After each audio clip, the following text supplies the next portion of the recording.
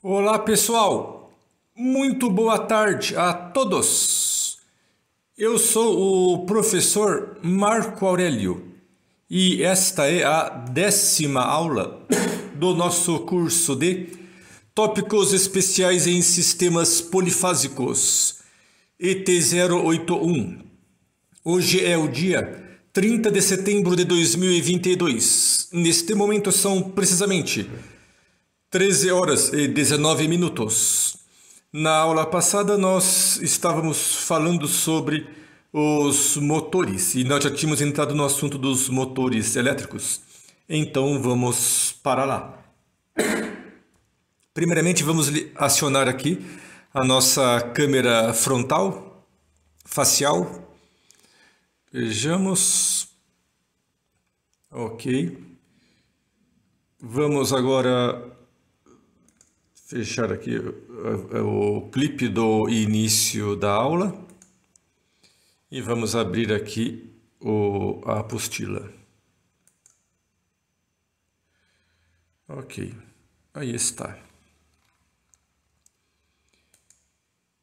Temos alguém aí ao vivo na Twitch? Se tiver alguém aí, por gentileza, Deixe um alô aí no chat.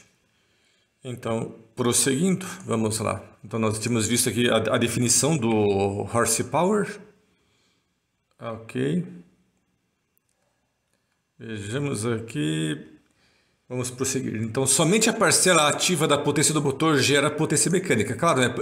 é, é por isso que chama ativo. Né? É ativo porque é, é, exerce uma potência útil.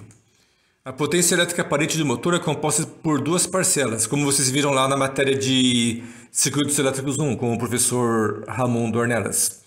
A potência ativa, P, medida em watts, gera trabalho mecânico. E a potência reativa, aqui no caso do motor, ela é indutiva, é a letra Q de queijo, medida em VAR, volt ampere reativo, não gera trabalho mecânico, é apenas a potência para você carregar e descarregar o elemento reativo, que seria a indutância aqui. Então, a potência ativa, que é o que importa aqui para nós, ela usa aquela definição lá da, da mecânica, a definição genérica, que é a derivada do trabalho pelo tempo. Então, a potência ativa é medida em joules por segundo.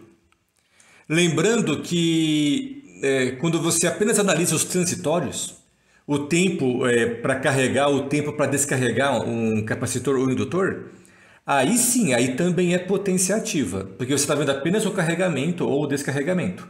Agora, quando você fica vendo uma tensão é, alternada, que fica promovido carga e descarga do capacitor ou do indutor, então a potência média é zero. Então a gente usa potência reativa. A potência ativa P, medido em watt, está associado ao efeito resistivo do motor sobre o gerador de energia elétrica que o alimenta. Então ele tem uma resistência interna. E aqui é, é resistência é, é, é elétrica. É, efeito é, elétrico. Também tem a ver com o efeito mecânico resistivo. Aqui. Vamos ver aqui.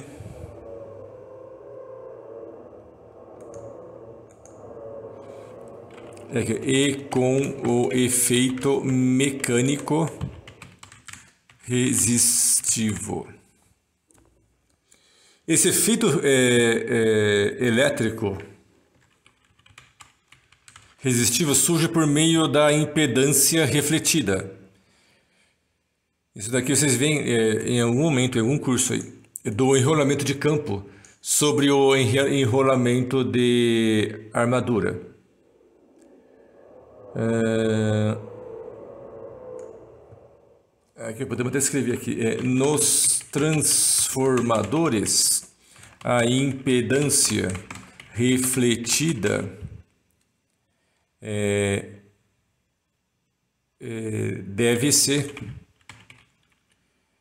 é, a é, refere-se à impedância é, é, percebida no é, circuito do primário em função da impedância aplicada ao circuito do secundário. Quanto maior é o carregamento mecânico do motor elétrico, que a gente chama de load, porque carga em inglês pode ser load ou charge. Mas aqui é carregamento, aqui você vai colocar em cima, né, vai carregar, então aqui seria load. E maior é a parcela ativa e menor é a parcela reativa. Quanto maior é o carregamento mecânico do motor, maior é o seu fator de potência, cosseno φ. Menor é o valor de φ, próximo de zero. Ou seja, ele vai operar é, quase que somente resistivo, resistivamente. Vejamos aqui, a potência reativa está associada ao efeito indutivo dos enrolamentos. Ah, vamos ver aqui. Isso, né? Você, você não tem como construir um motor puramente resistivo, né? Porque o efeito resistivo não gera nenhuma indução de tensão, né? Então tem que ter uma parcela indutiva aqui. A parcela indutiva é indesejável, mas necessária para que ocorra acoplamento magnético. Então, porque é, é o acoplamento do circuito do, do, de campo é, com o circuito de armadura, armadura que vamos escrever aqui. O acoplamento é feito é, entre o circuito de armadura e o circuito de campo. A parcela indutiva é tão maior quanto menor é o carregamento mecânico. Peraí, pessoal, vou pedir só, só um instantezinho aí, já retornamos aqui.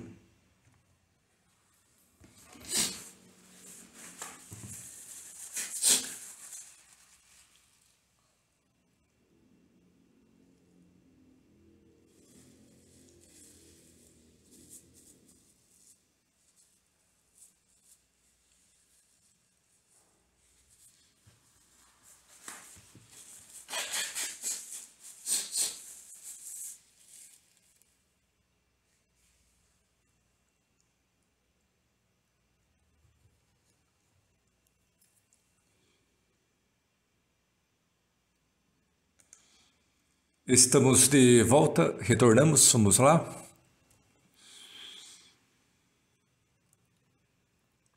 E aqui deu uma quebra aqui, ficou ruim. Cadê a figurinha que estava aqui?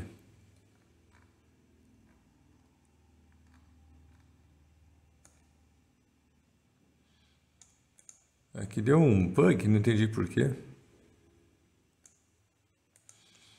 Ué. Por que será que aqui está tá faltando? Tô achando que tinha alguma coisa aqui. Deixe-me ver aqui. Eu vou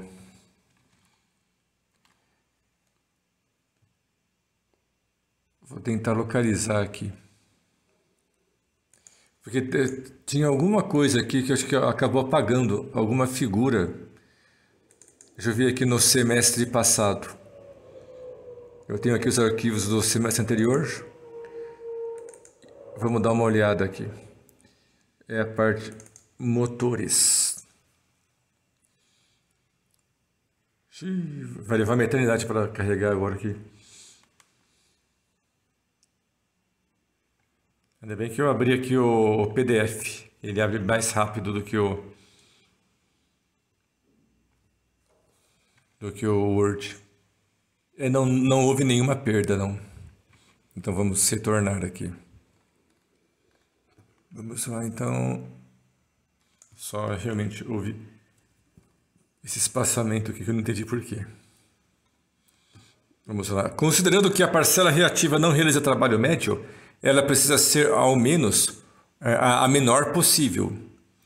Porque, embora essa parcela reativa ela não exerça trabalho, ela é uma corrente elétrica que fica indo e voltando. Então ela sobrecarrega os condutores. Pode provocar aquecimento nos condutores. Então, a, se bem que a, a, parcela reativa, por natureza, ela não provoca aquecimento, né? Porque ela é, é, como é, ela é indutiva, né? Não, não gera calor, né? Ela não é ativa. Mas a questão é que essa corrente aí é, de carga e descarga, ela acaba passando pelos condutores, né? Na ida e na volta, né? E, e o, as perdas nos condutores acaba gerando aí uma conversão é, desse efeito reativo em um efeito ativo, que seria a produção de calor. Então é, é, ideal que seja menor, só que não pode ser zero, porque se for zero não vai ter acoplamento magnético. Vejamos, existem duas situações extremas para o funcionamento do motor elétrico. Então aqui ó, a primeira situação extrema é o eixo travado. Então ele vai operar como uma resistência pura, cosseno φ igual a 1, é, zero grau. E aqui motor em vazio, operação como indutância pura, cosseno φ é igual a zero. Então seria 90 graus. Estas duas situações são indesejáveis. O eixo é, é, é travado é indesejável porque o motor não exerce trabalho mecânico. Então, ele não vai fazer nenhum trabalho mecânico, então não interessa, né? É, a não ser criar uma, uma pressão mecânica, talvez, aí. Vejamos aqui. Um motor industrial energizado com eixo travado costuma queimar em torno de 8 segundos. Vai, de, vai depender muito do seu tamanho, do, da carcaça, se ela absorve muito ou pouco calor. Vai depender da temperatura, se está frio ou quente. Mas numa média de 8 segundos. E, e hoje em dia, é, somente quando o motor é muito grande, vale a pena você mandar enrolar. Eu lembro que quando eu estava na faculdade, o professor falou que geralmente assim, motor de um cavalo, dois cavalos, não valia a pena mandar enrolar novamente. É, somente motor assim acima de 10 cavalos. Mas hoje, considerando que o, o cobre está muito caro, houve uma super, hiper, mega valorização do cobre, então acaba não valendo a pena você reenrolar, porque o enrolamento ali implica uma enorme parcela do custo do motor.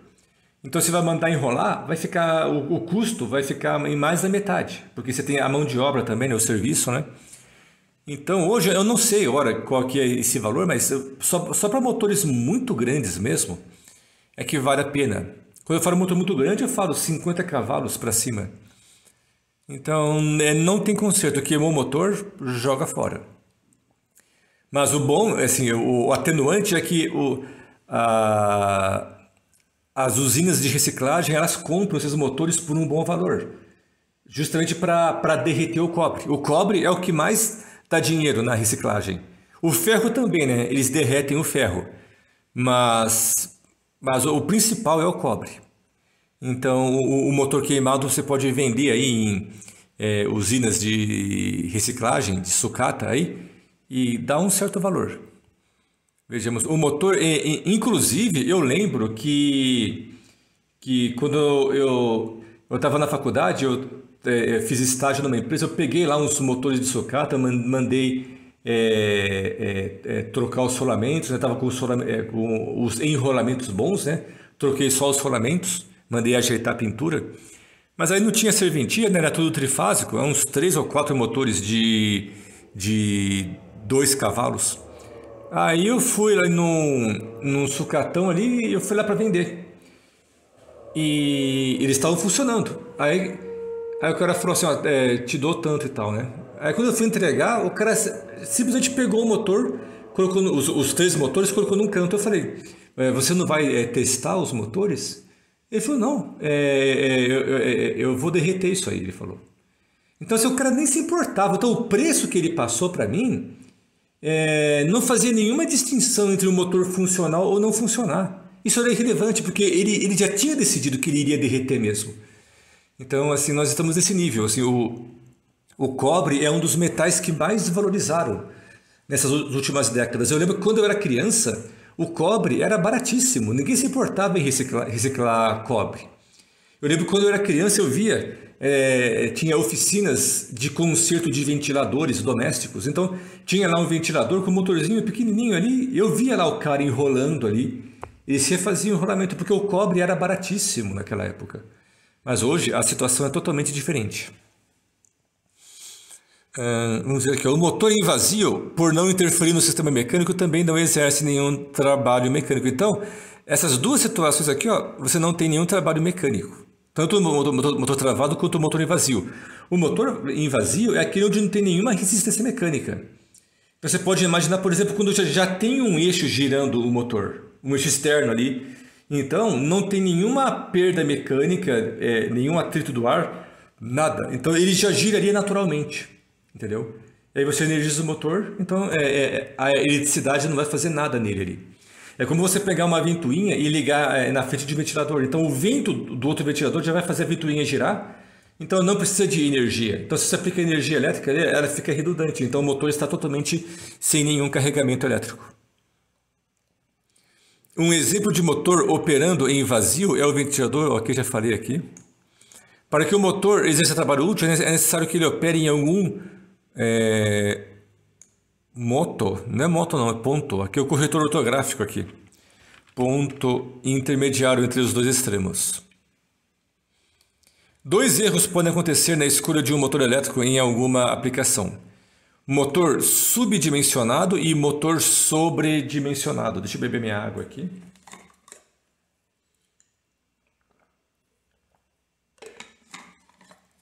Vamos lá.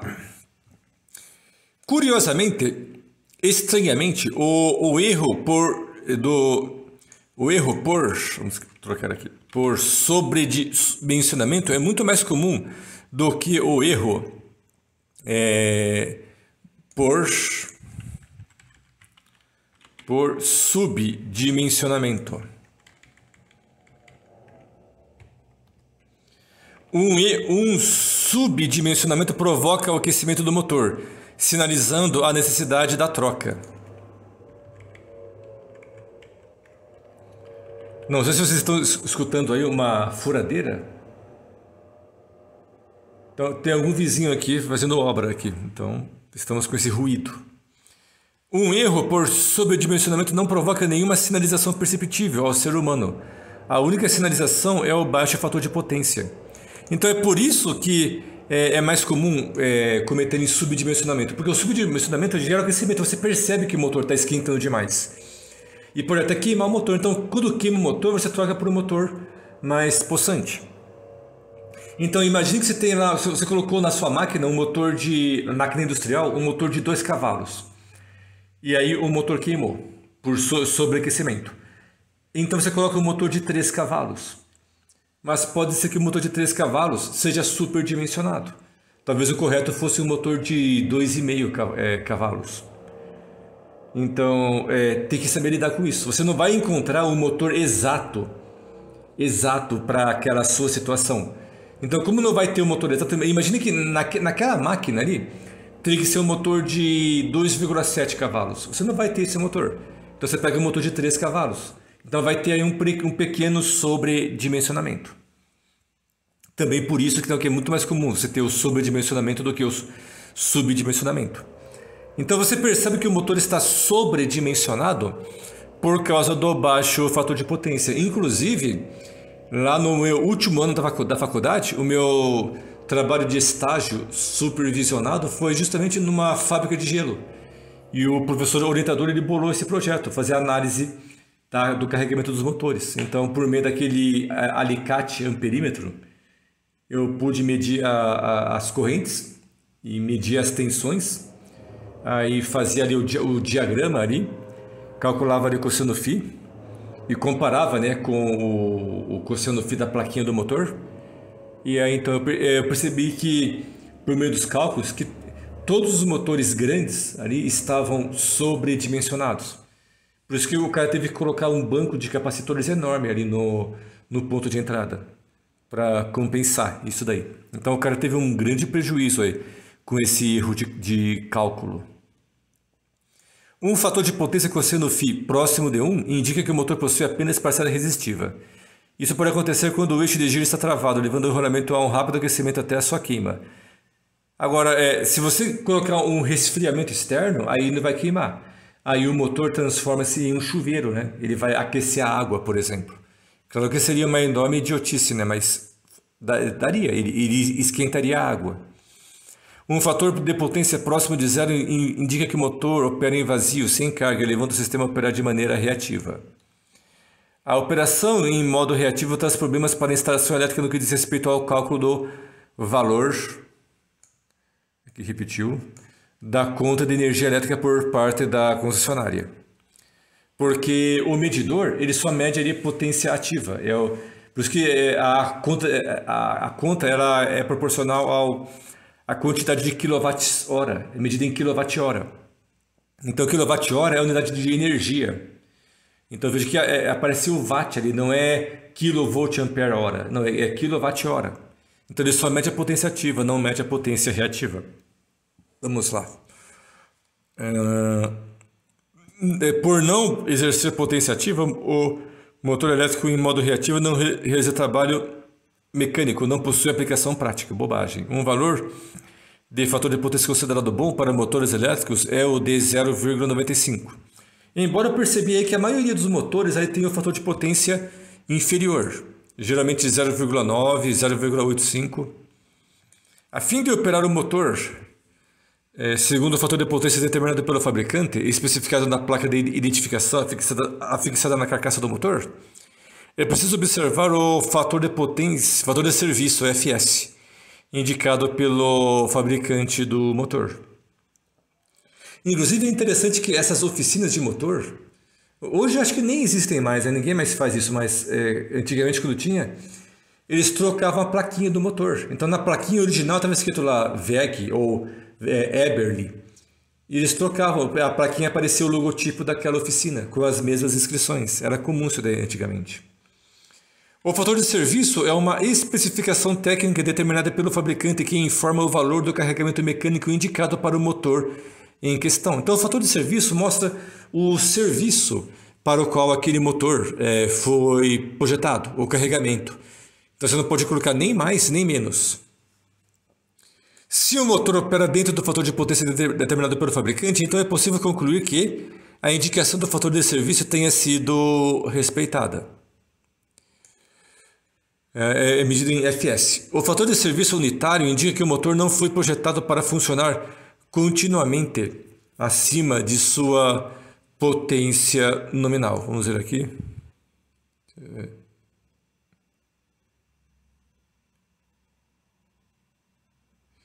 Não, aqui, aqui tem uma coisa que está. Tá, é, uh, não, não está certo, certinho mesmo. Porque ó, se, se o fator de potência. Que, Aqui, ó, está correto aqui, então o carregamento mecânico também está correto. Certinho. É... O fator de serviço unitário, então quando é FS é igual a 1, indica que o motor é, não tem unidade, tá? Isso aqui, é, é um valor de sobrecarga, então ele é percentual. Então isso daqui seria 100%. Ou seja, ele opera 100% da carga nominal, ou seja, nenhuma sobrecarga. Indica que o motor não foi projetado para funcionar continuamente acima de sua potência nominal, embora ele pode operar por tempos curtos acima de sua potência nominal. O respeito à determinação do fator de potência do motor implica na observação do carregamento mecânico. Então você não pode pôr muita carga no motor, nem pouca carga. Um motor com sobrecarga mecânica opera a um fator de potência superior ao da especificação. É, tudo bem que um fator de potência alta é bom, né? Porque ele é mais resistivo, né? Mas aqui no caso aconteceu por motivos ruins. Porque vai, vai ter aqui um alto aquecimento. O alto aquecimento significa uma alta perda de energia na forma de calor, ou seja, o rendimento do motor é diminuído. Além de você também é, sobrecarregar o, o, os condutores, né? Vamos ver aqui. Vamos ver aqui. Vamos colocar aqui. A sobrecarga do motor pode implicar em sobrecarga dos condutores. Também os condutores podem superaquecer. O motor superdimensionado opera a um fator de potência inferior ao da especificação, requerendo correção de, desse fator de potência para a instalação elétrica, por meio do uso de um banco de capacitores. E é caríssimo isso aqui. É, cada capacitor desses é, é, é um custo enorme. Deixa eu ver se eu localizo aqui. Vamos ver aqui. Banco de capacitores. Vamos ver se eu acho aqui o preço de um desses capacitores aí. É, vamos ver aqui.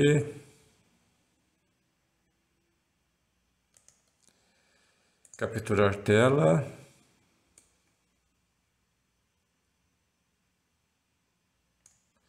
Copiar.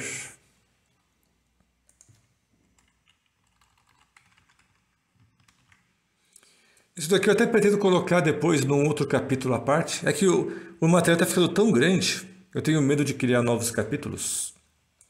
Mas aqui vamos ajeitar aqui. Olha lá. Então aqui, ó, aqui estão os capacitores. Aqui os circuitos de proteção. Aqui os barramentos aqui das três fases. Olha lá, 10.900 reais. Vamos ver aqui. Capturar tela.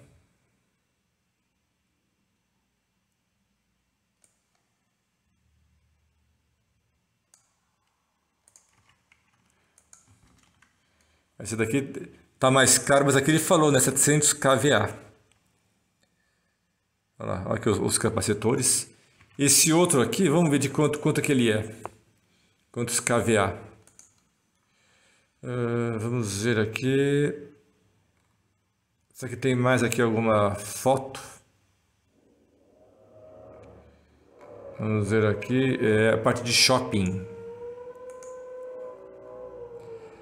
Esse daqui de 10.900 reais, ele não falou qual é a, a potência. É, não falou.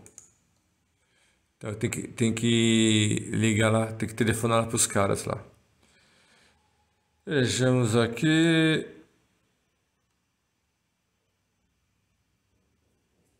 Aqui tem um aqui que é, que é menorzinho aqui. Vamos ver aqui.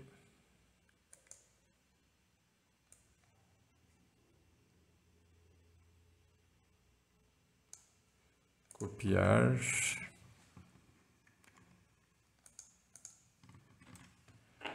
Esse daqui, esse daqui é de 900 reais. Deixa eu ver se tem aqui alguma outra outra foto aqui. Aqui tem um pequenininho aqui. Um baratinho aqui. Pra, pra não desanimar a rapaziada aí. Achei aqui um, um pequenininho. Vamos lá. Aqui, 128 reais aqui. Vamos ver aqui se tem aqui um, um, uma outra foto aqui. Não tem? Meio difícil achar aqui. Achei aqui um outro. Antigamente era, era mais caro isso daqui. Reduziu bastante aqui o preço disso aqui, viu? Quando eu me formei, esses bancos de capacitores eram caríssimos, era o preço de um automóvel popular. É, que bom que barateou, porque uma descarga atmosférica costuma queimar esses capacitores aí. Cai um raio lá na empresa, na, na, na, na fábrica, e queima aí. Tá aqui. Mas é claro, né, que os menores aqui são aqueles que têm a menor potência, né? Agora vamos reduzir tudo aqui. Talvez isso daqui eu transfira para outro, outra unidade, não sei ainda. Porque não sei se vai ficar muito técnico. Mas pode ser que depois eu até faça isso. Só que Aqui, entendi. Aqui. Vamos lá. Acho que a gente perdeu um certo tempinho aqui, mas acho que essas imagens aqui tornaram-se didáticas, né? Porque não tinha essas imagens antes. Então agora com essa nova versão da apostila aqui com essas imagens, acho que deu uma melhorada aqui, né? E realmente esse assunto de banco de capacitores tem tudo a ver com motores, porque é, é no caso de motores e eletroímãs. E quando você tem for, fornos indutivos também, quando a empresa usa forno de indução, Aí também tem a questão aqui de usar os bancos de capacitores. Vamos lá. Vamos reduzindo aqui as figurinhas aqui.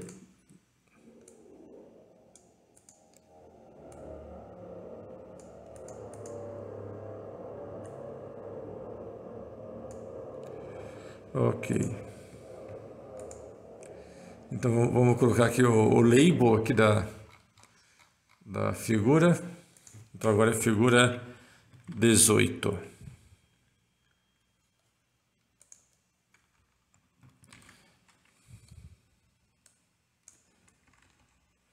Bancos de capacitores.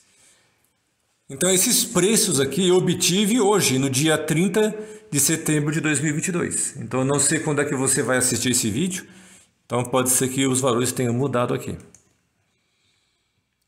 Vamos lá. É, existem dois tipos de motores em relação à corrente elétrica. Temos o motor de corrente alternada e motor de corrente contínua.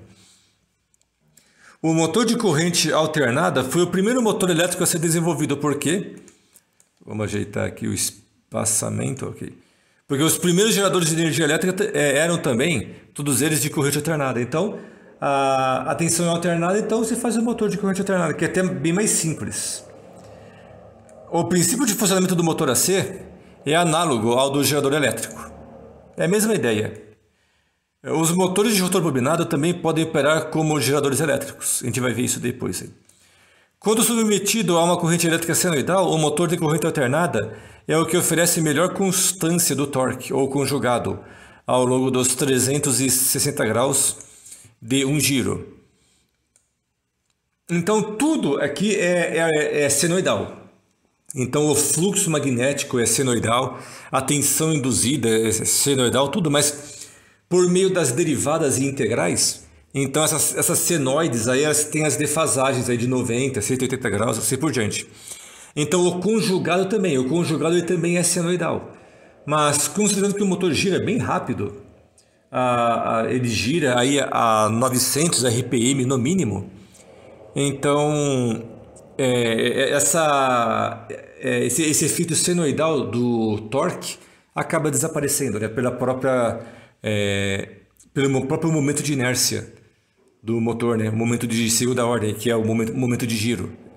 Então, pela, pela quantidade de movimento, ele vai gerar uma inércia ali que vai é, nivelar é, esse torque, para torná-lo constante.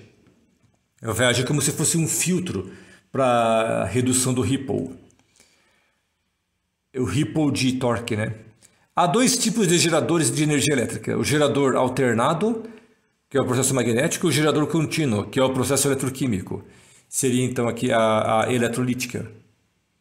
Aqui a gente não vai ver o eletroquímico. Aqui nós temos eh, geradores, só que aqui fica complicado, hein?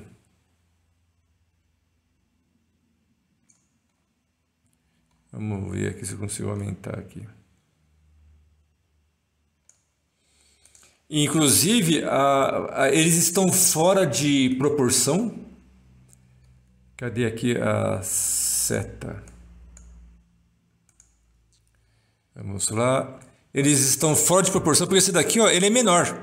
Isso daqui deve ter o, o, o, o tamanho. Deixa eu ver aqui, o tamanho de um, um, um frigobar. Uma, aquelas geradeirinhas de geradeirazinhas de hotel. Então aqui você vai com uma mão aqui, outra mão aqui, ó, você ergue isso daqui e transporta. Tudo bem que ele é pesado, né? Mas dá para transportar. Então ele é portátil. Isso daqui deve pesar, eu imagino, uns 40 quilos. Eu imagino. Aqui ó, nós temos aqui ó, tomadas industriais que nós vimos no capítulo anterior. Aqui um meter, acho que é um medidor de tensão, ele dá, mostra aqui qual é a tensão que está gerando. Agora aqui é um gerador é, de grande porte é, é, é, a, mesma, é, é, a mesma ideia do, do, gerador que tem no CAP. Aqui no nosso campus, nós temos duas unidades semelhantes a essa daqui. Então, é, é, se você for lá no CAP, você vai ver isso daqui. Ó, tem a, a chaminé aqui. Essa chaminé aqui eu tenho uma mola aqui, ó. Então o, a, a fumaça sob pressão levanta isso daqui. Quando, te, quando você desliga o motor aqui, ó, ele vai é, fechar sozinho pela mola para não entrar água da chuva. E aqui tem um motor diesel. Tem um tanque aqui, então quando você liga o gerador e, e, e o combustível começa a cair, diminuir, aí você tem que ter, é, é, reabastecer aqui, chamar o caminhão apropriado para isso e você faz aqui o carregamento com combustível para não parar aqui a energia. Então aqui você tem vários medidores aqui. Medidor de tensão, medidor de corrente, medidor de fator de potência, medidor de temperatura e mais alguma coisa. Talvez seja o medidor do nível do combustível. Talvez seja isso. Hum. Ah, aqui podemos até colocar aqui, ó. Vamos, vamos colocar aqui. Então não leiam o que está escrito ali, para não perder a, a, a emoção. Vamos lá. Aqui, ó, é, medidores visuais é, do gerador é, industrial aqui. É, é, tensão de saída, tensão elétrica, co corrente, a corrente demandada, que é o fator de potência,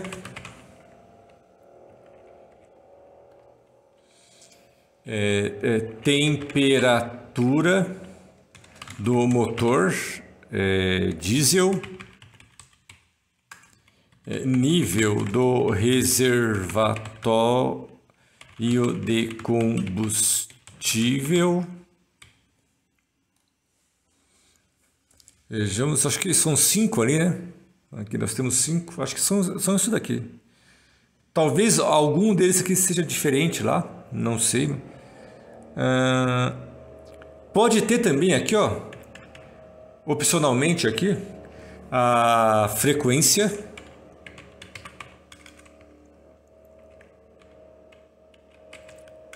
Tá difícil, hein? Que o centro ali seria 60 Hz, mas ele mostra se tem algum desvio de frequência. Então aqui já são seis, né? Então aqui não, teria, não seria todos, né? Depende muito do modelo, depende do fabricante. Eu dei apenas aqui alguns exemplos. Aqui. Ok, agora vamos lá. Pode olhar agora. Aqui, ó. Geradores de corrente elétrica alternada. Aqui seriam os fixos aqui, né? Você tem aqui a usina hidrelétrica ou hidroelétrica. A usina termoelétrica ou termoelétrica. E a usina eólica ou aeólica. Isso daqui talvez até é, futuramente mande para um outro capítulo, porque esse, esse capítulo de motores ficou muito grande. Aí seria um capítulo só sobre geração de energia elétrica. Pode ser que eu faça isso daqui depois. Vamos lá. Agora aqui a, a energia hidrelétrica ela gera impacto ambiental. E a termoelétrica também. E a eólica, eólica também. Todas elas. A hidrelétrica gera um impacto ambiental por causa do, do alagamento, né? Vai alagar uma grande área. É, é, nos Estados Unidos, eles possuem lá vários rios que tem aquele, aquele formato de penhasco, canyon, né? canhão, canyon. Tem vários lá nos Estados Unidos, então é, aquilo ajuda muito. Você consegue fazer uma represa com um grande desnível ali, então você gera um, é, pouquíssimo impacto ambiental. Agora, no caso do Brasil, não, né? Você tem poucas montanhas, então você tem aquelas enormes planícies. Então, uma, a, a construção de uma usina hidrelétrica implica é, em uma grande área alagada. Isso daí gera um enorme impacto ambiental, porque você vai ter mais evaporação de água, mais tempestades, vai mudar o bioma, né? Então, a, a hidrelétrica é uma das que mais geram impacto ambiental, por incrível que pareça. A, a termoelétrica é menor, por incrível que pareça. Embora a termoelétrica ela gere partículas de carbono no ar, ela é menos é, é impactante do que a elétrica. Uh, mas então a, a termoelétrica, então ela gera fumaça, né? Que, que é um problema também. Agora a eólica ou a eólica aqui, é, no Brasil, né, no, no Nordeste, né, estão colocando vários porque lá no, na costa do Nordeste venta muito, né? Então eles estão colocando lá essas usinas Mas a, a usina eólica, ela, ela é pior do que as outras. Ela é pior porque o custo de manutenção é elevadíssimo, por incrível que pareça. Então, o custo de manutenção da usina eólica é maior do que a, a hidrelétrica e da termoelétrica.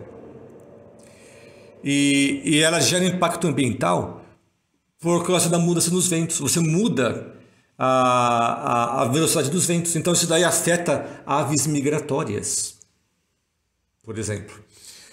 É, é esses ventos é, interferem na, nas correntes marítimas. Então, até no, nas correntes marítimas, é, das quais, é, com as quais são guiados os golfinhos, baleias, pode gerar impacto.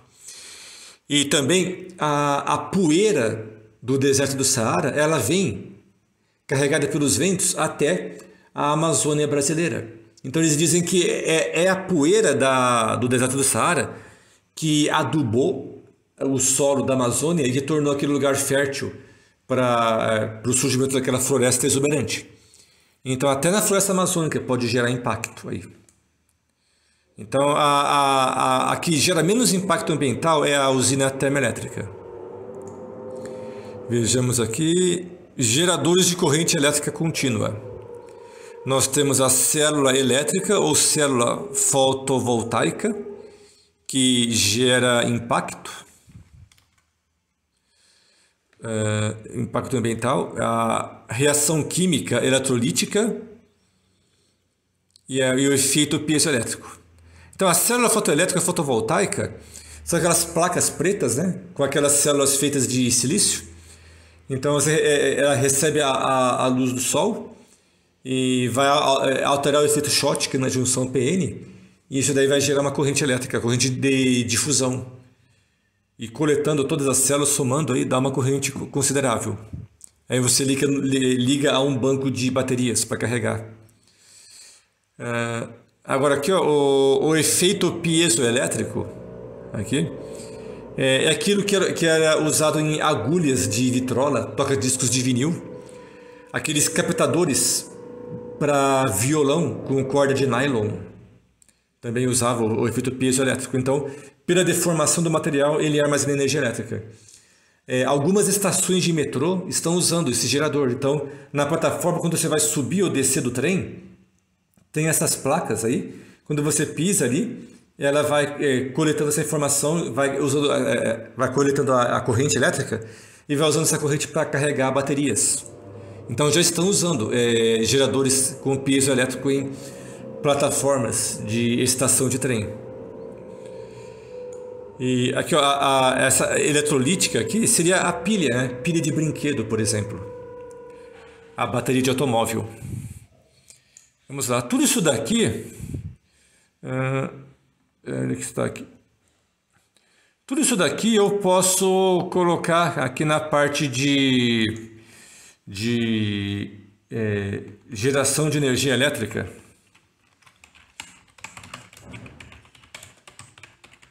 E que depois eu posso converter para um outro capítulo, para diminuir. Esse aqui está muito grande. Deixa eu pegar aqui a formatação aqui do... Cadê aqui? Opa, cadê aqui? Sumiu. Vocês tinham visto aí, né? O... Ah, tá tudo bem. Vamos pegar isso aqui. Vamos lá. Aqui.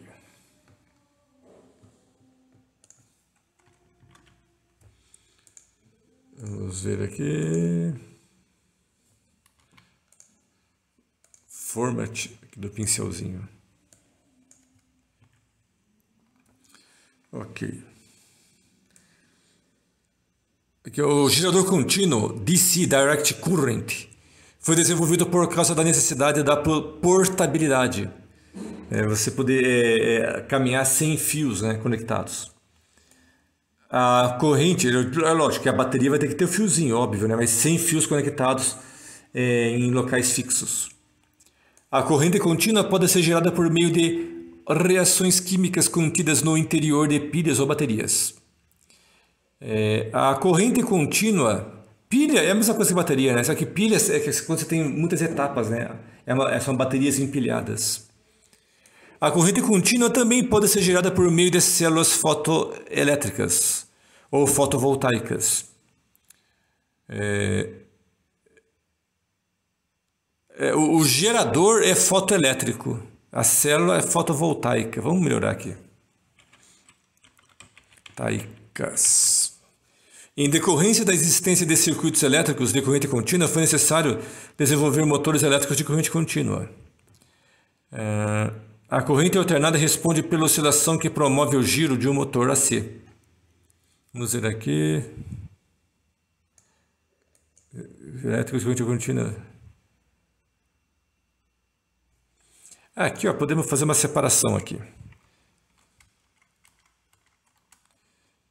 Pronto, aqui ó, temos aqui essa parte aqui da geração. Podemos até isso aqui eu colocar aqui em cima.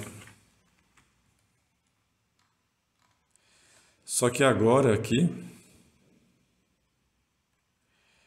vai complicar aqui a nossa formatação. Olha só o que aconteceu aqui. Então isso daqui eu vou ter que passar para cima.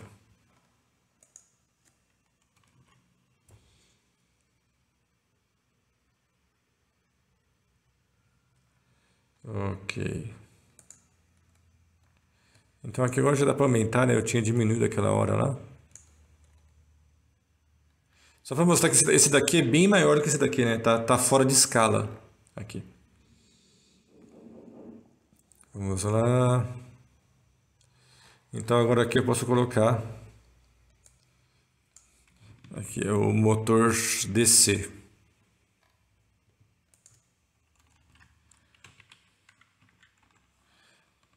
Motor DC, DC motor.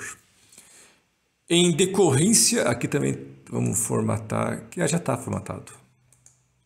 Em decorrência da existência de circuitos elétricos de corrente contínua, foi necessário desenvolver motores elétricos de corrente contínua.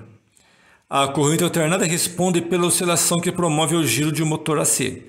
A corrente contínua não gera essa, esta oscilação, o motor AC não gira. Então temos um problema aí, né? Houston, temos um problema. A solução encontrada foi o uso de um sistema de acoplamento elétrico. Então não é acoplamento magnético, é acoplamento elétrico.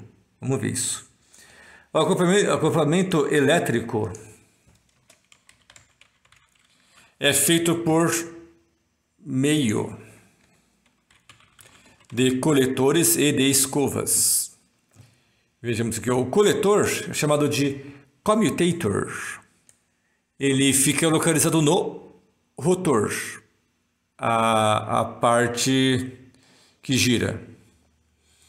E a escova, também chamada, chamada de brush, é, é localizada no estator.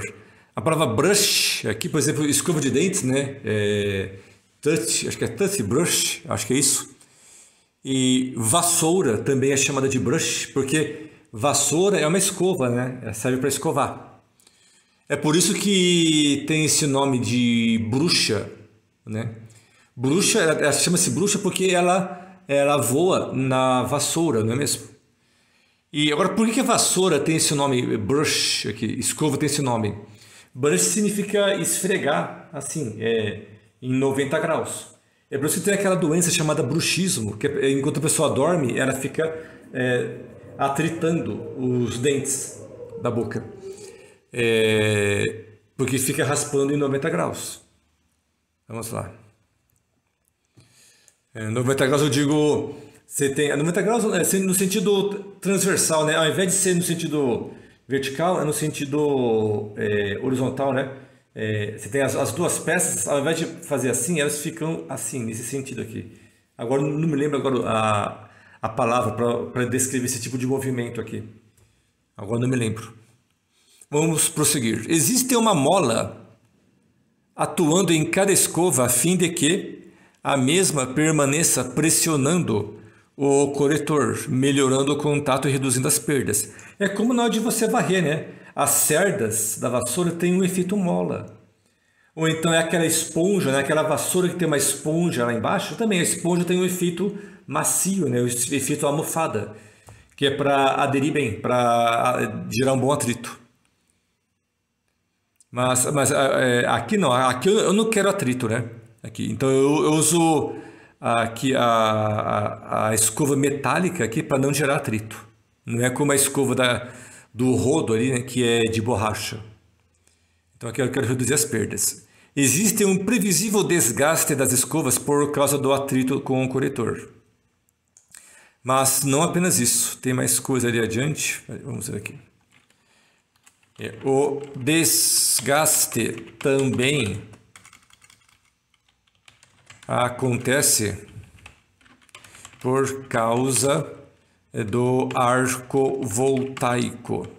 Então, quando você fica chaveando o circuito, fica dando uns brilhos ali nas escovas. Então, esses brilhos aí também vão é, é, provocando a deterioração dos contatos.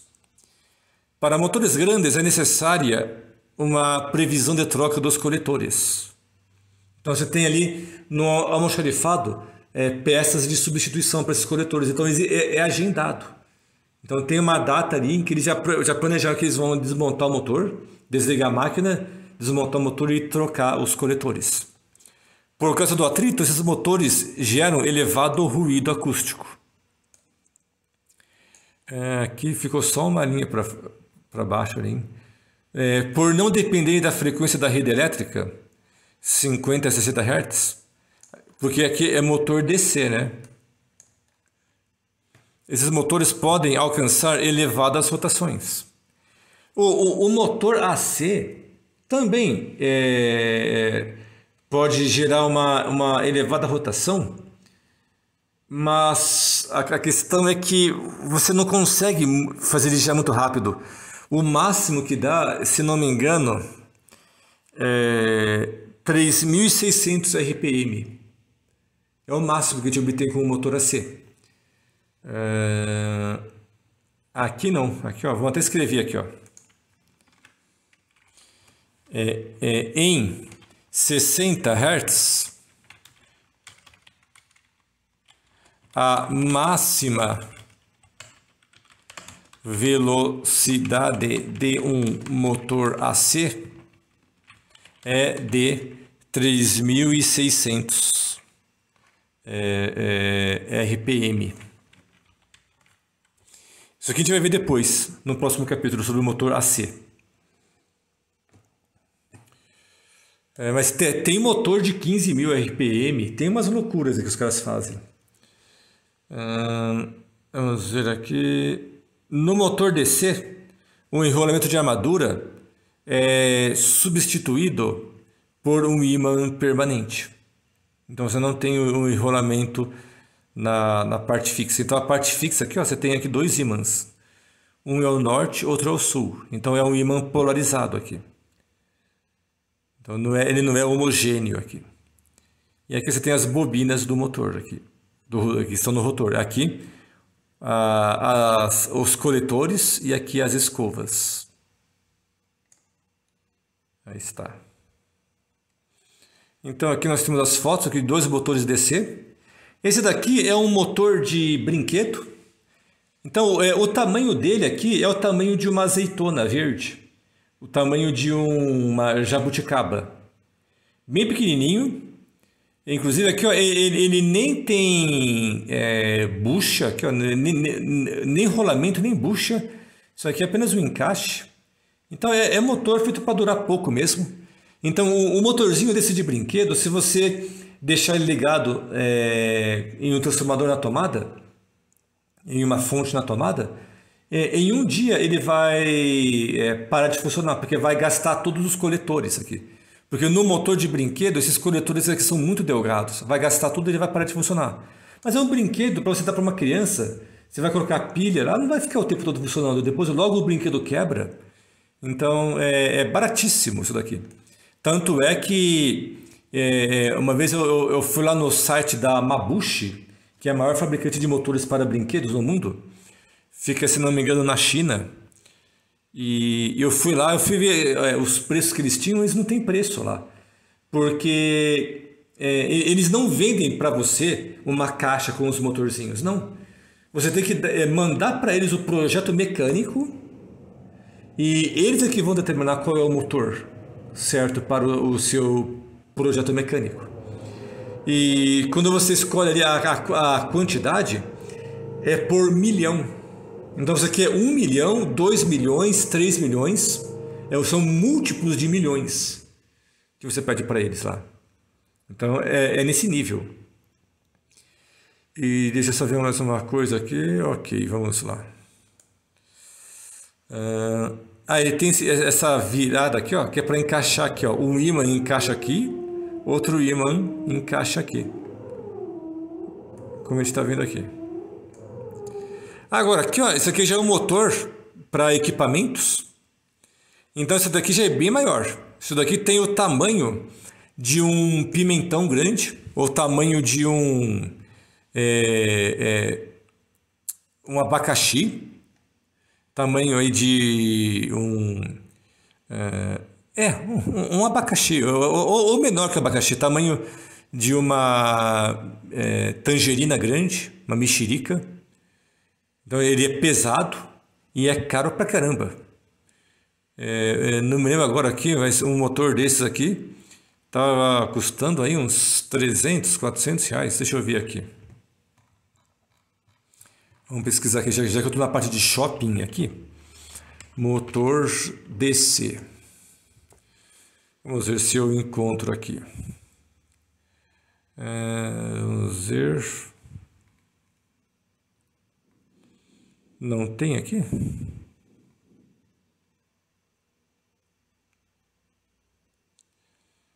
Uh, onde é está?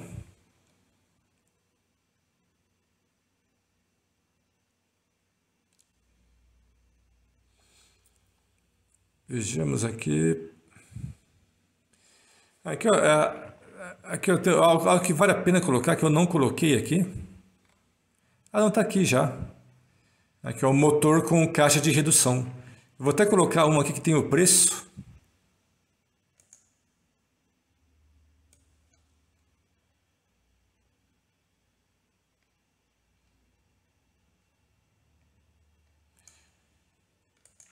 Vale muito a pena você é, usar motor com caixa de redução, porque o custo e a complexidade do projeto reduz bastante. Então aqui é o motor, aliás, o motor está aqui, tá aqui atrás. Aqui você vê que ó, o eixo de giro aqui ó, não é não é centralizado. Então aqui você tem a, a caixa de redução.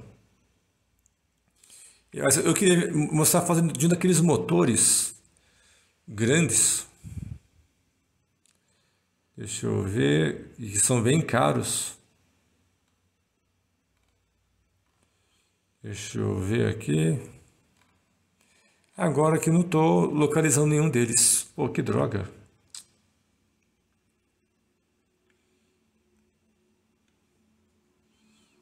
Que droga, não estou localizando aqui nenhum deles. Ah, que legal, aqui ó, encontrei um aqui, é, que tem aqui a, a caixa aberta.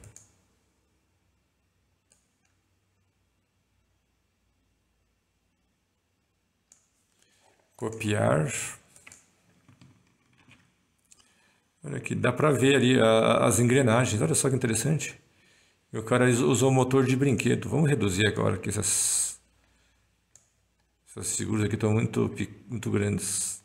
Mas a, a foto daquele motor, o motor ali DC grande ali, eu não encontrei aqui, o que é uma pena. Mas aí, uma noção aí dos preços aí, prices. Deixa eu ver aqui. Pô. Aqui, localizei.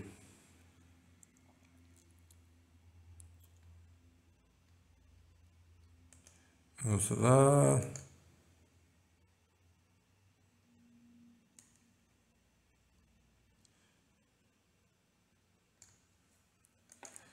Só que esse daqui não me parece que é, que é um motor comum, parece que é um servomotor. Esse daqui é, é servomotor. Aí outra história que a gente vai ver aí depois. É, então deixa quieto. Aquele motor lá não estou conseguindo é, localizar aqui mesmo. Uma pena. Então não vamos perder tempo aqui.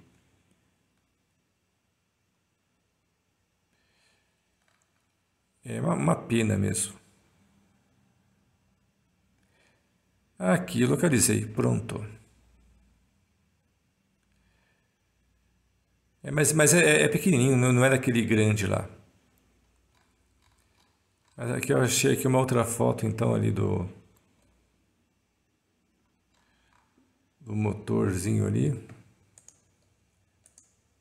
Esse daqui, o, o, o eixo aqui, é,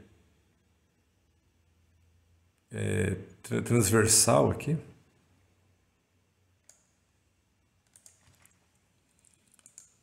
Então, vou tirar isso aqui fora, isso aqui é motor servo. Olha aqui, então ele faz aqui um, um giro ali, né? O eixo ali tá, tá virado ali. Tá em 90 graus.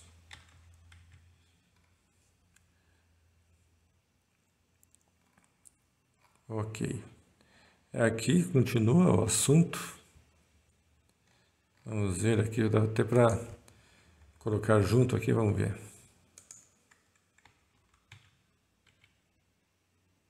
Não dá para ir junto aqui? Ok. Joia.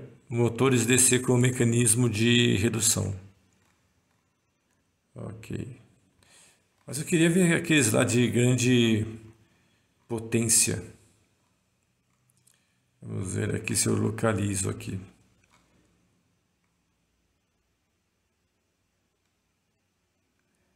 É, deixa quieto. Vamos lá, vamos, seguir. Aqui, vamos pegar aqui a... Perdi a, a seta. Não queria perder aquela seta aqui no meio dos slides da, do, do arquivo aqui. Senão o aluno vai estudar, vai ver aquela seta e não vai entender por que, que tem aquela seta. Mas tudo bem. Vamos lá.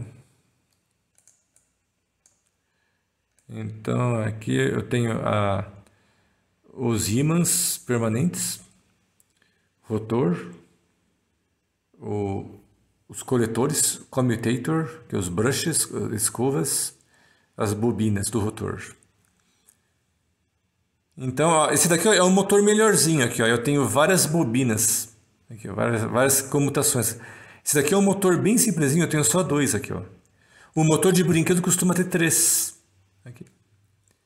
Ok, então ele fica raspando aqui, então ele vai, vai desgastando. Tem a mola aqui, mas isso aqui vai gastando. Até que uma hora acaba, que eu comeu tudo aqui e tem que trocar. Então, motor de liquidificador, batedeira, furadeira costuma dar muito problema aqui. É a maior fonte de problema. Então, lá na oficina, o cara vai trocar os coletores. Aí pronto, aí tá novo. É, coletores, não, os, as escovas, desculpa, falei errado. Mas às vezes gasta também os coletores, mas geralmente gasta mais do que os, as escovas. As escovas são feitas de um metal mais é, delgado, para que gaste a, as escovas e não os coletores, porque para trocar os coletores é mais complicado. Então eles fazem aqui ó, esse metal aqui, aqui é, como sendo mais, é, mais mole do que esse metal aqui, para você ter que trocar somente o, a escova e não os coletores. Então aqui a armadura, a não, a, a, não, não sei por que, colocaram isso aqui. A armadura é em volta, né? Tá errado, isso aqui é o, é o rotor. Aqui é a carcaça, aqui é a, os ímãs aqui dentro. E aqui as escovas e aqui os coletores. Aqui o motor de brinquedo. Então aqui ó, os, os três coletores aqui. As três bobinas aqui. Joia. E aqui o material ferromagnético aqui, ó, da, do, do rotor. E aqui. Isso daqui não é bucha, isso daqui tem outro nome. Porque a bucha é mais sofisticada do que isso daqui. Isso aqui é apenas um encaixe mesmo. Então o motor de brinquedo visto por cima aqui, ó, a tampinha, né? Aqui você tem aqui as duas escovas. Veja, veja que é um material bem fininho aqui, ó. Então isso daqui gasta rapidão. Mas como é para brinquedo mesmo, então não tem problema. Geralmente o brinquedo quebra antes de gastar aqui uh, os coletores. Então aqui eles chamam de bushing, é, é, bucha, aqui, mas nem sempre. Alguns motores são com bucha, mas outros não, outros são só no encaixe mesmo. E aqui os dois ímãs. Eles até pintam de cores diferentes, não sei por que motivo, mas tá aí. Aqui nós temos uma animação. É, quem for imprimir não vai ter acesso né, a, a, a essa animação aí. Mas então na cor azul é o sul, na cor vermelha é o, a cor laranja é o norte. Então veja que é, as três bobinas elas ficam mudando aí, né? Mudando aí é, de localização. E pelas, é, pela regra, regras do eletromagnetismo, a força magnética age no sentido de é, é, maximizar o acompanhamento magnético, ou seja, é, ele tende a, a ficar é, é, norte com sul e sul com norte. Mas como ele vai comutando aqui as bobinas, então ele nunca entra em equilíbrio. Então ele está sempre buscando equilíbrio, sempre em regime transitório. Então por isso ele continua sempre girando. Vamos lá. O cara que bolou isso daí realmente é muito bom, formidável. Então aqui está o rotor, aqui ó, está aqui o, os coletores, commutator, tem essa peça interna que é o miolo. Então em um motor de grande porte, motor industrial, você troca esse bloco aqui, ó. não tem como trocar os contatos aqui, ó. Então você troca esse conjunto aqui, ó. Então lá na oficina o cara tem a ferramenta especial, Climper, se não me engano, para sacar isso aqui e colocar outra peça aqui, a peça nova aqui. Aí tem um monte de modelos, é para cada tipo de motor aí. Vamos lá. Quando os motores são muito pequenos, ao invés de rolamentos, eles usam buchas. Motores de brinquedo não usam nem rolamentos nem buchas, apenas o encaixe. Então aqui são as buchas. Butchen. Vamos ver aqui uma coisa. É, não temos aqui as, aquelas listas. Vamos pegar aqui só para ficar em harmonia.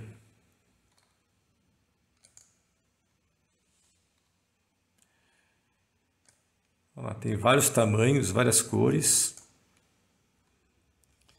Os anéis de um rotor, motor elétrico de corrente contínua promovem o contato elétrico para o enrolamento de campo. Este anel circunda o eixo de rotação sem contato elétrico com este eixo. Vamos ver aqui. É, não, não pode ter curto-circuito aqui, né? Aqui, no, no eixo aqui, não pode. As escovas são a interface do circuito estator com o enrolamento de campo. Ok. Para que o contato seja eficiente, normalmente existem molas que aumentam a pressão entre as peças. Tem que ter. Isso aqui não é nem normalmente, não. É sempre. É sempre, sempre. Uh, as escovas são o, o primeiro elemento a entrar em deterioração por causa do desgaste provocado pelo atrito entre as peças. O segundo elemento a entrar em deterioração são os rolamentos, também por causa do atrito das esferas internas ao rolamento. Ao, ao rolamento. É, é, é, semelhante àquele rolamento de skate, né? só muda o tamanho. As escovas são o principal gerador de ruído acústico do motor, já falei. O segundo gerador, é, gerador de ruído são os rolamentos, que também geram muito barulho. Então, rolamento gasto gera um barulho cansativo. Rolamentos gastos ou sem lubrificação produzem grande barulho. É muito comum que as escovas, após muito tempo de uso, estejam desgastadas ao ponto de que não seja mais possível realizar contato elétrico com o enrolamento de campo. Então, quando isso acontece, é preciso substituir as escovas, já falei. Se o motor é muito pequeno, a melhor opção é trocar o motor. Então, geralmente, o motor pequeno, é, motor assim, é, esses assim, que custam é, é, 30, 40, 50 reais, por exemplo, não vale a pena consertar, é melhor trocar mesmo. Só a mão de obra já vai dar esse valor, o valor de um novo. Vejamos aqui. O motor de corrente contínua funciona por meio da impossibilidade da aquisição da estabilidade equilíbrio dinâmico. Foi o que eu falei. É, é, é, é, aqui, vamos ver aqui. Ó. É como se fosse um oscilador de relaxação, né? basicamente isso. Só que ele não, ele não oscila, né? gira sempre para o mesmo lado. Deixa eu beber minha água aqui.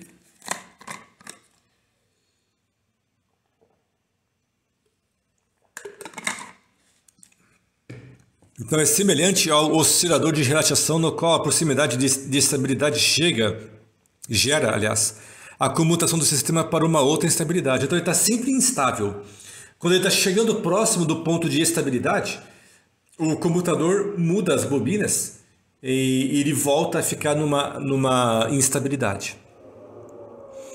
O oscilador de relaxação promove a comutação periódica entre os dois processos diferentes, cada uma é, cada um, cada processo, né, então cada um levando a uma determinada situação de estabilidade. A é, é, estabilidade é não atingida.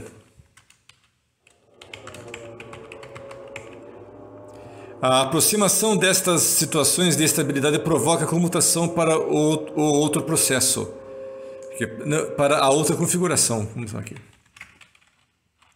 Outra configuração.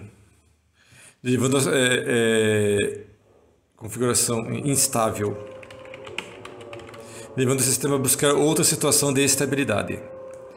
No caso do motor de corrente contínua, não é possível usar apenas dois enrolamentos, pois isso impossibilitaria a determinação do sentido de rotação. Então até dá para usar um motor desse, mas você vai ter que dar uma partida externa. Então você vai ter que fazer uma partida externa para que ele comece a girar, senão ele não parte. É necessário então que existam pelo, existam pelo menos três circuitos do rotor. Peraí, eu mandei desligar aqui a... É, tá no modo avião, por que deu esse barulho aí? Não sei porquê. Então aqui diz que são pelo menos três enrolamentos de campo. Quando a energização de um enrolamento leva o rotor à posição de máximo acoplamento, o deslocamento angular do rotor promove a comutação é, é, do circuito por meio do anel coletor. É, é, não seria exatamente aqui ó, o máximo, que mais próximo né, a essa posição aqui. Desta forma, o equilíbrio jamais é atingido e o motor nunca para de girar. A maioria dos motores de corrente contínua de baixa potência possui um enrolamento de armadura formado por ímã permanente em formato de anel ou semi-anel. Esta opção reduz o custo de produção é, quando o motor é pequeno. Ok, já falei.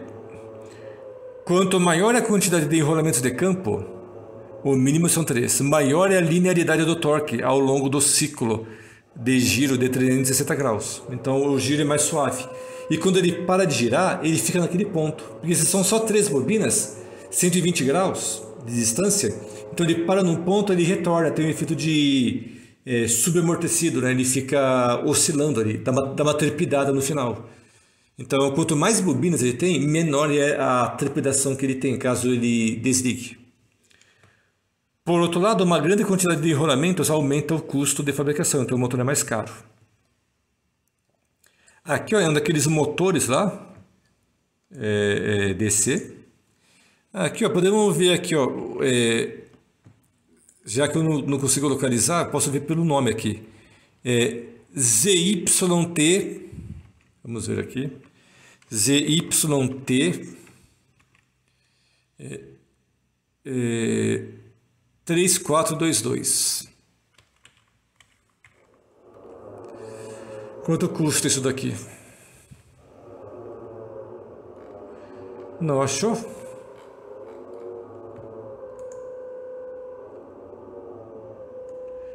Não localizou.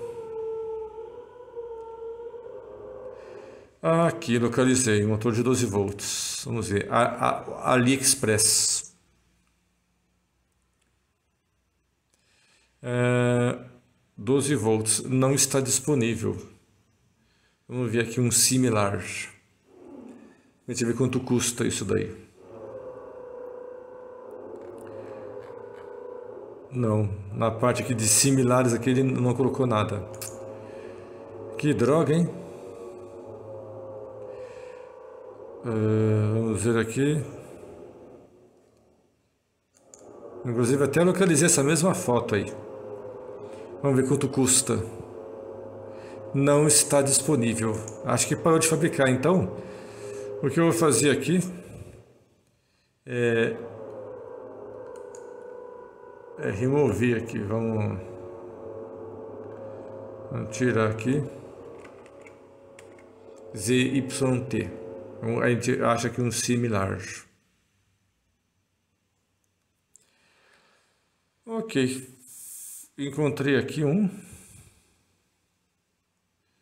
Mas ainda assim não é como eu queria aqui. Vamos colocar aqui na parte de shopping.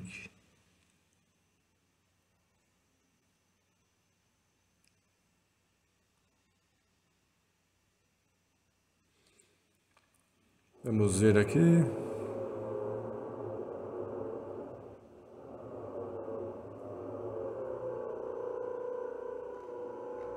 Vamos lá. Capturar tela.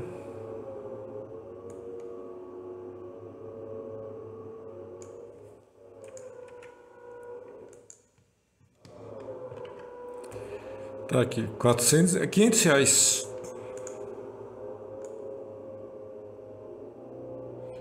Realmente, né? é, é, é um investimento. Então, por um preço desses aí, então compensa mandar consertar, né? Se der algum defeito aí, né? Vamos lá. É, há dois tipos de motores elétricos de corrente contínua: o motor brushed, com coletores e escovas, e o motor brushless, sem coletores e sem escovas. Então aqui diz que os coletores e as escovas são o principal ponto de desgaste de motores de rotor bobinado.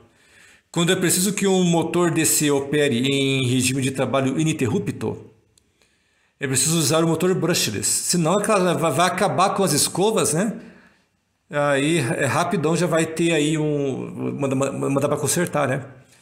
Mandar para o conserto. Então, se é para ficar operando sem parar o tempo todo, aí então é melhor usar motor brushless. Então, para ventilador, por exemplo, ventoinha, Aí usa esse, esse motor aí.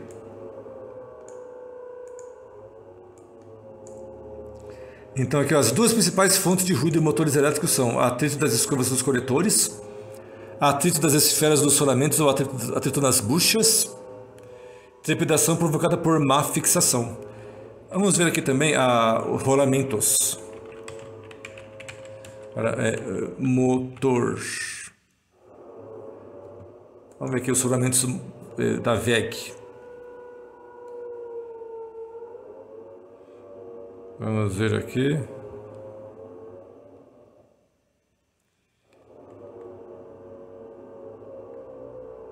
Aqui. Vamos lá. É, é, é bem semelhante aqui ao rolamento para skate. Vamos ver aqui.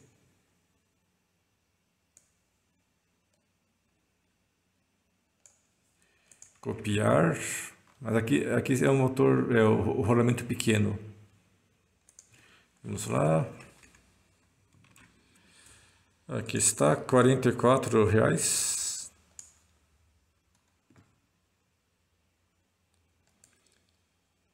Depois eu, eu, eu, vou ter que retirar a informação dos preços aí, porque nos próximos semestres, porque isso daí muda muito.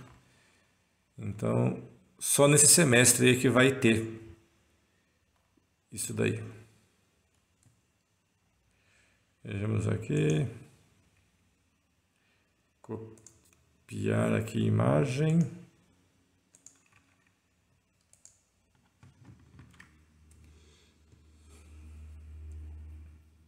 Não foi? Ele não aceita aqui a figurinha? Ah, essa, essa figurinha aqui não aceita. Então, ainda bem que eu estou com o meu conversor aberto aqui. Vai me ajudar bastante. Tá aí.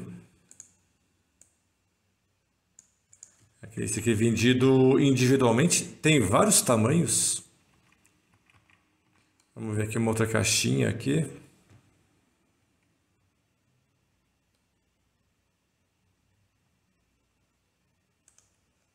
Copiar imagem. Esse aqui também não aceita.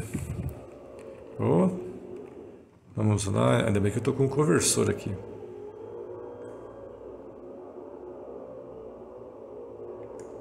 Vamos lá, copiar e colar.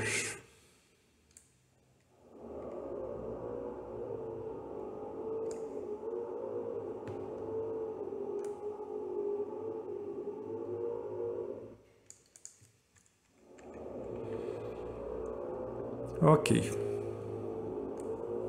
Vamos anotar aqui então.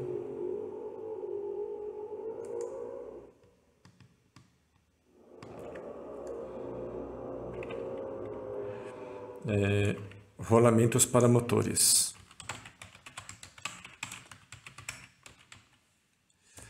Ok.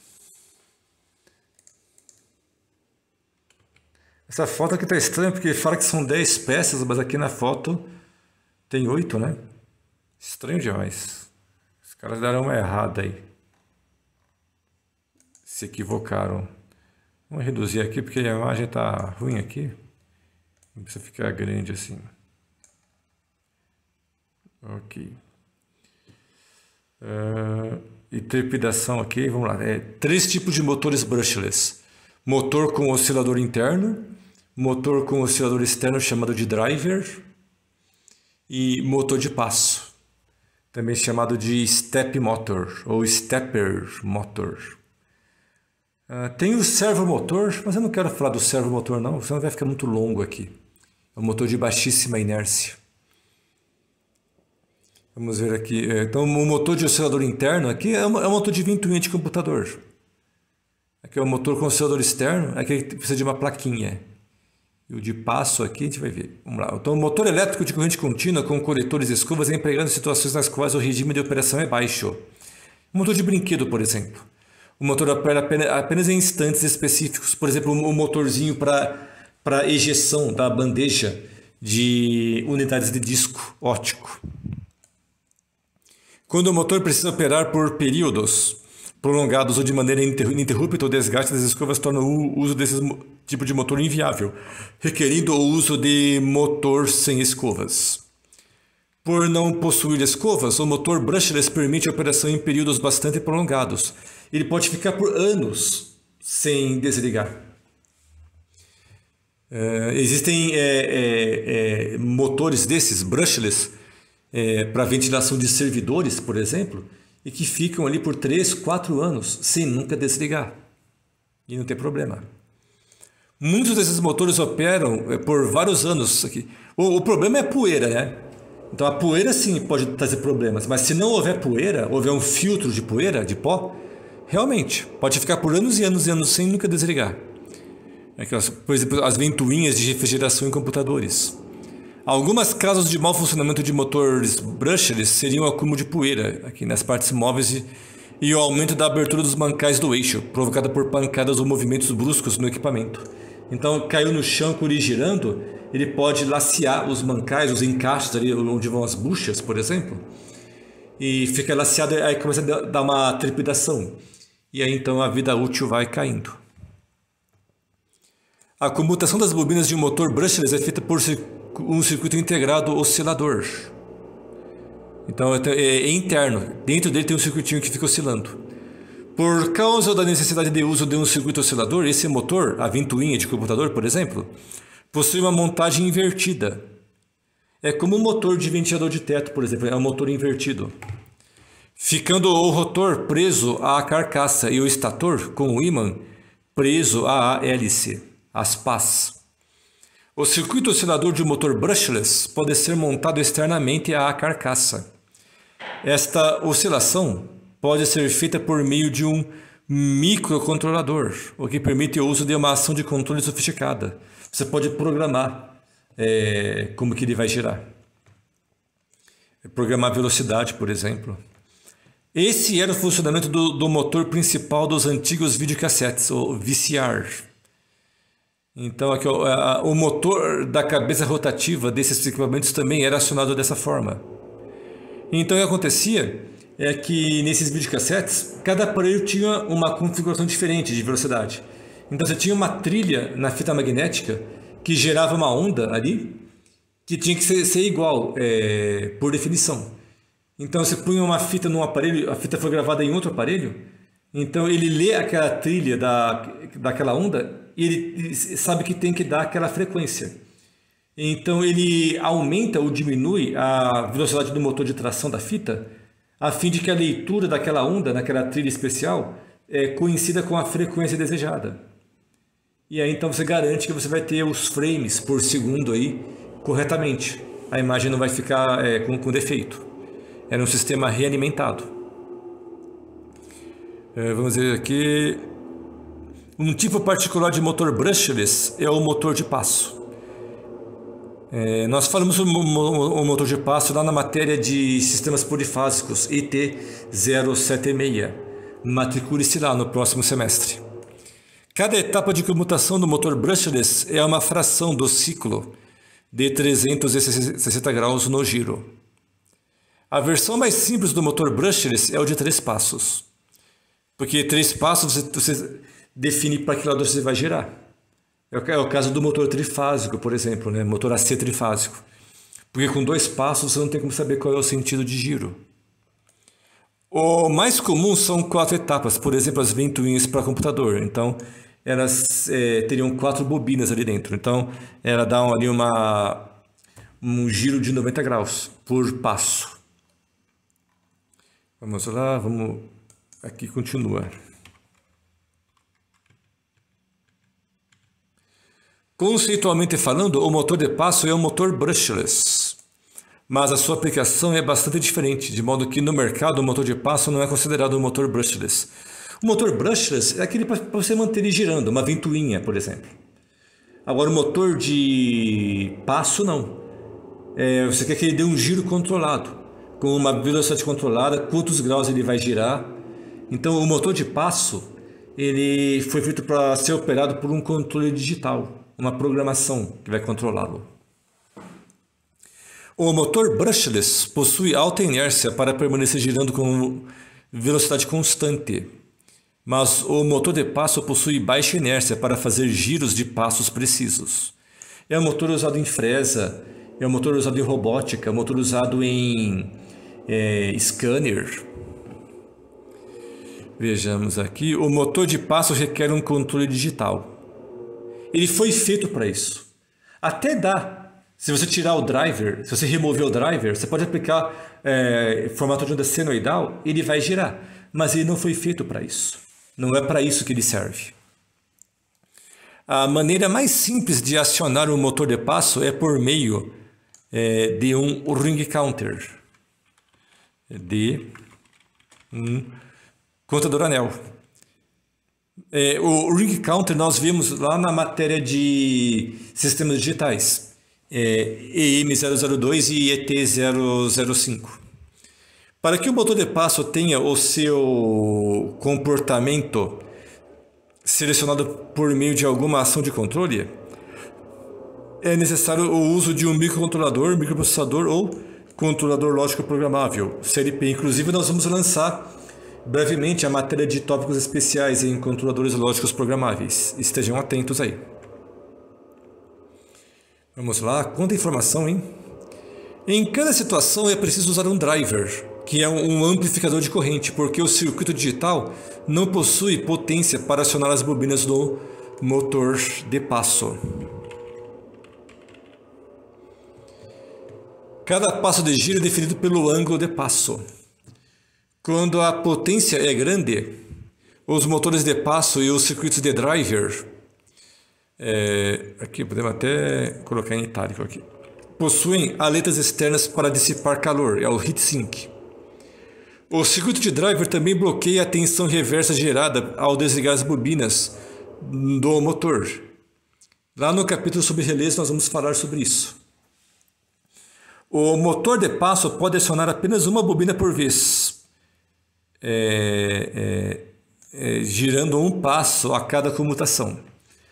O motor de passo também pode, vamos ver aqui, também pode acionar é, aqui, ó, é, duas aqui, bobinas por vez. Vez. É, aqui, vamos lá. É, aumentando. É, vamos ver aqui é, o seu torque.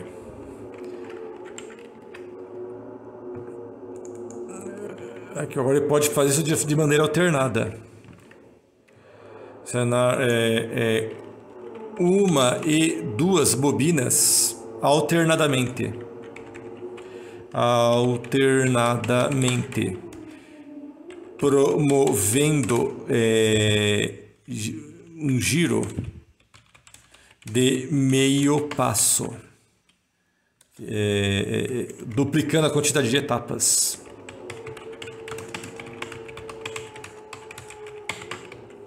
A maioria dos motores de passo giram 360 graus em cada período de comutação das bobinas. Alguns motores de passo giram 180 graus em cada período de comutação das bobinas. Isso daqui nós vimos lá em ET076, é, tópicos especiais em sistemas polifásicos. Matricule-se lá. O motor de passo não se propõe a realizar um giro contínuo, mas um giro controlado. Então ele não foi, ele não foi feito para ficar girando eternamente. Não, não é essa a ideia dele. É, o motor de passo permite dar um passo por vez com grande precisão e exatidão. Precisão é no sentido de que ele vai dar exatamente aquele movimento angular, exato. E exatidão é que ele não vai dar dois ou três passos, não, ele vai dar apenas um passo, então é garantido. Então isso daí é precisão e exatidão.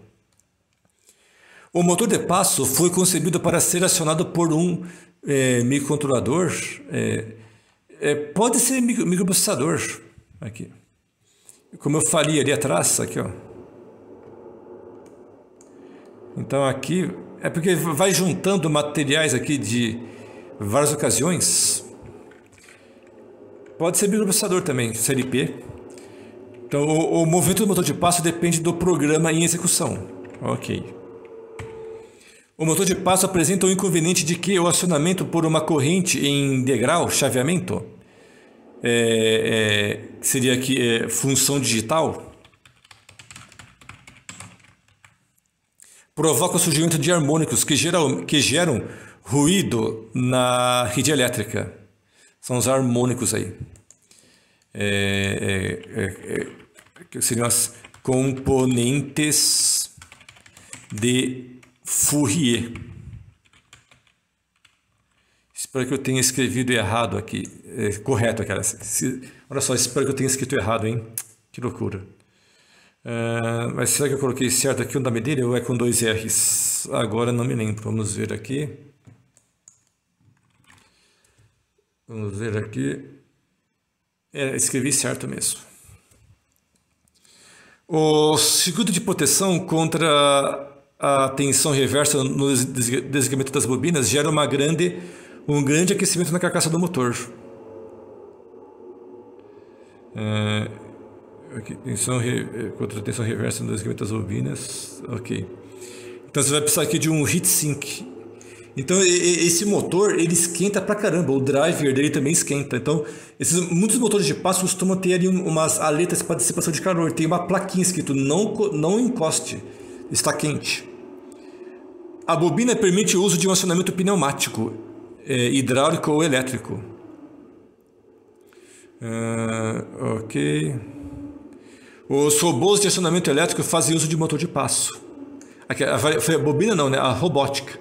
Então você tem o robô pneumático, hidráulico e elétrico. Inclusive o, o pneumático é, é o, e o hidráulico são os mais comuns, inclusive na indústria. O elétrico é só, é só robô pequeno, robô de pequeno porte. Então aqui ó, nós temos um motorzinho pequenininho aqui, Driver Model Stepper Motor Board Test. Esse motorzinho aqui é baratinho, tem para comprar aí facilmente aí na, na internet. E ele já vem aqui com o com essa plaquinha aqui, ó. Vem junto com ele. Deixa eu colocar aqui. Então isso daqui, ó, você pode ligar no seu Arduino, por exemplo, ou no seu Ring Counter, contador anel aqui, ó. Então ele já tem aqui as quatro entradas digitais aqui para você ligar aqui, ó. Então isso daqui é o driver para controlar aqui as bobinas, a proteção aqui, ó. Tem até esses LEDs aqui, ó, que indicam aqui, ó, qual é a bobina que você acionou. Então isso daqui facilita demais a vida para quem vai trabalhar com Arduino. Ah, vamos ver aqui. Que quebrou a página.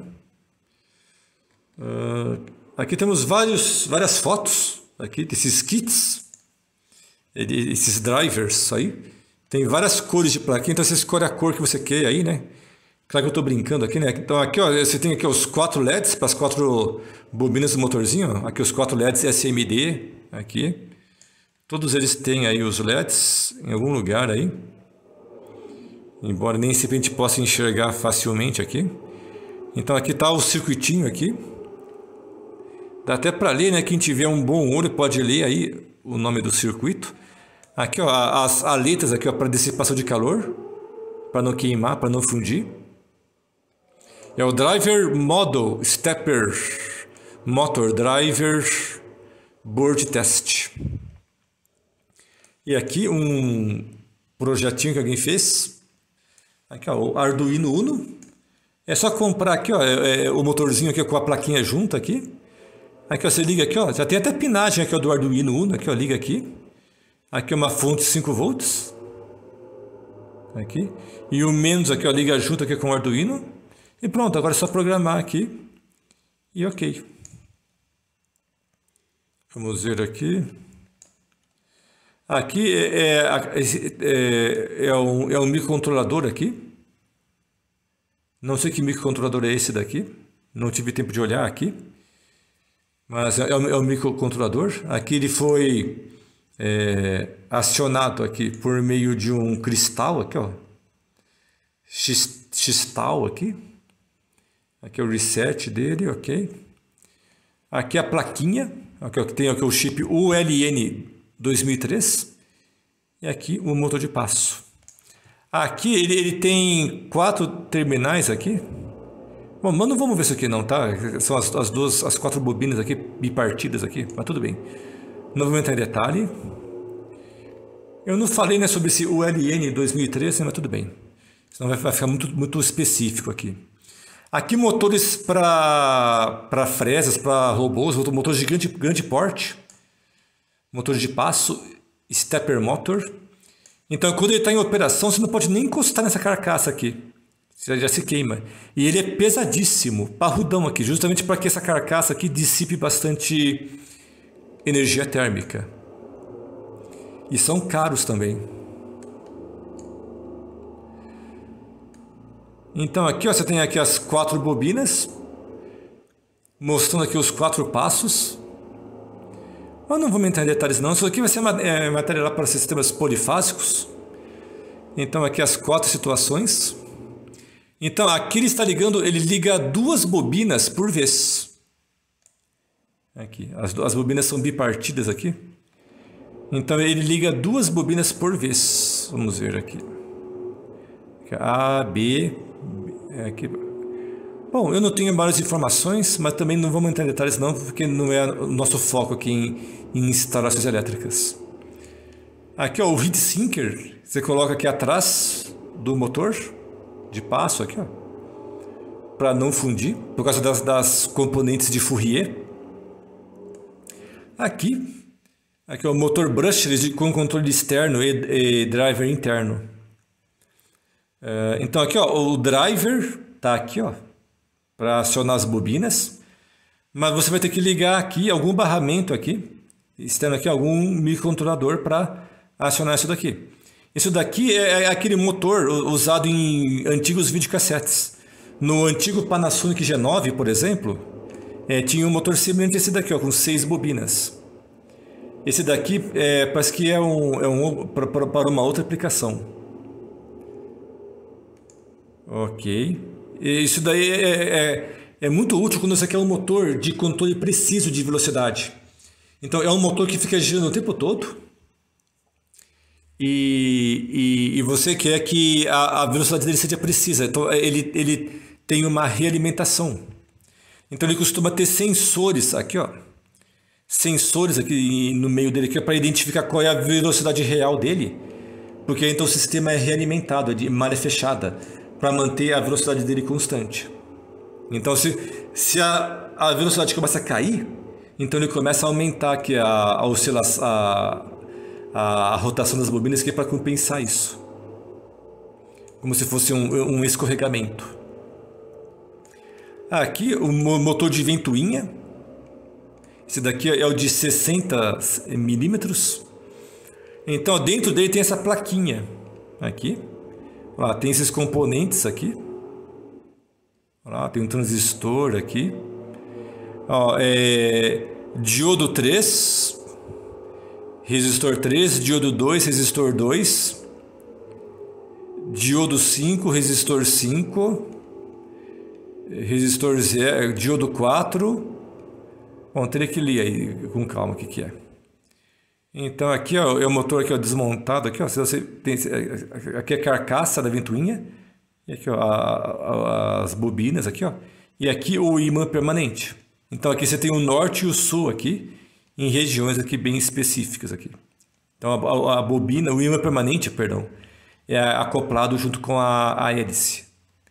Então na verdade é, isso daqui seria o rotor, isso daqui seria o estator, mas ele é um motor invertido. Então o, o rotor, aliás, o, o, o estator, é aqui, é a parte que gira, e o rotor é a parte que é a parte fixa. Mas o pino aqui é colocado aqui, ó, junto com a hélice aqui, que seria o estator. Vamos lá. O servomotor, ah, eu, disse que não ia falar, mas falei. É, é um motor elétrico equipado com um circuito eletrônico acionado por um sensor de posição angular deste motor. Trata-se de um sistema controlado por malha fechada, que é o mesmo caso aqui, ó, desse motor de videocassete aqui, antigo. Vamos lá, vamos, vamos pegar aqui para gente encerrar essa aula aqui. É, aqui. Vamos lá. Gente, que barulho, vocês estão escutando o barulho aí? Vou ter que pegar um fone de ouvidos. Tá, tá difícil. Então tá aqui. Esses motores são caríssimos. Então aqui você tem esses conectores aqui para você ligar no controlador. Então ele fica monitorando qual é a velocidade dele. Então você tem um sistema de malha fechada aí. Ok, acho que agora terminou. E terminou. Ok, então terminamos aqui na página 26. Vamos encerrar aqui. Pronto, 26 páginas. Então encerramos aqui esse assunto aqui de motores gerais. Então já está meio que em cima da hora. Então na próxima aula vamos, vamos ver os motores é, AC, que são é, bem mais importantes para nós aqui nesse curso de instalações elétricas. Então pessoal, vejo vocês na próxima aula. Ah, e na na próxima aula vamos fazer uma a, a, a, vamos fazer uma reposição uma, uma aula extra na quinta-feira. Então teremos aula quinta e sexta-feira semana que vem. Joia pessoal? Então até lá. Até mais pessoal. Tchau